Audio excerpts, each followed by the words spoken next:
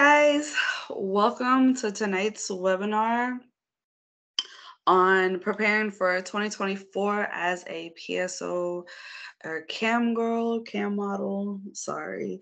I personally don't like to call myself cam model, but for purposes we may have men and women and stuff, so we'll use cam model. I like cam girl. I feel like I'm just a regular girl and just in this world. Anyways, my name is Paisley. Um, I'm sure most of y'all already know me, but for those that are going to be watching this on the replay, I have been a cam model for over five years, a phone sex operator for over four years, and just have learned a lot of information along the way that I come on my YouTube and share tips and stuff for. I ended up in adult work because I got fired from Whataburger. I don't know if y'all know what that is, but it's a fast food. Um, it's a fast food place that sells burgers for the most part. And I was a manager there, ended up getting fired. And I just knew that I didn't want to work a regular job anymore. I knew, like, okay, this is the my manifestation, the law of attraction, like pulling me away from here. And I just felt relief when HR came in there and fired me. I really did feel relief. So I didn't know where I was going to end up, but I stumbled across camming. I think I knew I wanted to do something with adult work, but I really didn't know much about this world. Stumbled across camming and fell in love and been hooked for since 2018. So everyone always asks the question like do you feel like you're successful in this industry? And i feel like everyone's definition of success is a little bit different. So i will say i feel like i've been successful as a cam girl even though i'm not where i want to be 100% financially yet living in my complete abundance because each year i go up 15 or 20 thousand dollars so to see the increase that I get over the past five years, one has been a blessing. I think it's really cool that I'm making more than what I was making as a manager at Whataburger. So um, I just wanted to share that with you guys. I like sharing different things on each of my webinars. So that's kind of the backstory and how I got here.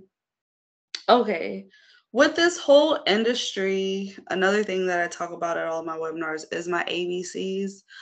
But I did change B around, I think maybe like two webinars ago. So let's talk about them. The first one is A, and that stands for being accountable. You're not going to be successful in this industry if you don't know how to hold yourself accountable. And I had to learn that quickly because there's no boss. There's no one telling you when you're taking your break. There's no one telling you, hey, get to work. They're going to write you up. If you're late, you're late. You're not going to get written up for that. So when you're used to living in that kind of lifestyle and then you come to this, it can be a little bit challenging holding yourself accountable. But I think it's I think it's very, very, very, very important to be able to do that. If you're not one that knows how to do that, here's some tips to get you on the right track. Um, get on a schedule.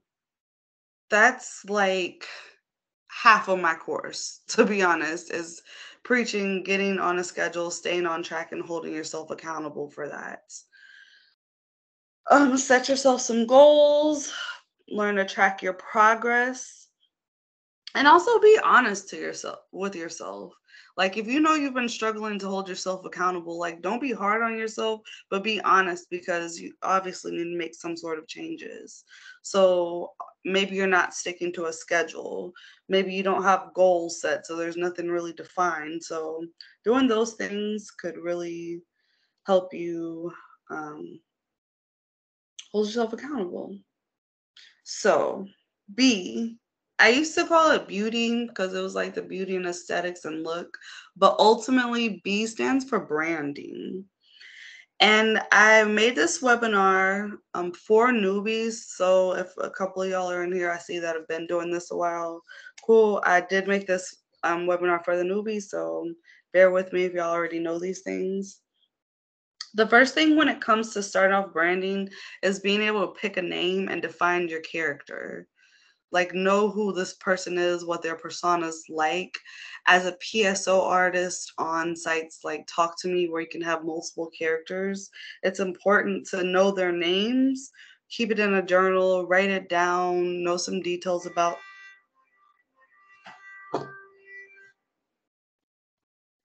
uh hold on one second.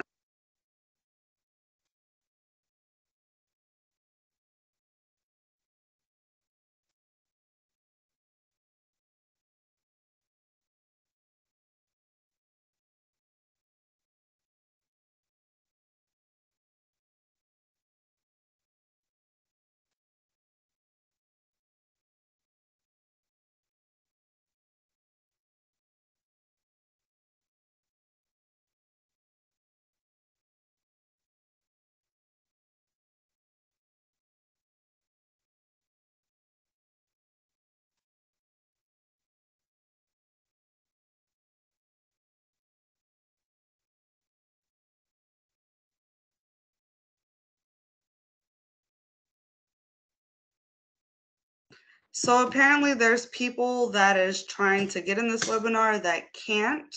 So I'm gonna start a whole new Skype link. Give me about three minutes. I'm gonna send it to the update group. I'll also send it here, but let's join the new one because for whatever reason, they're not able to join. Sorry, I'm sorry about that, y'all.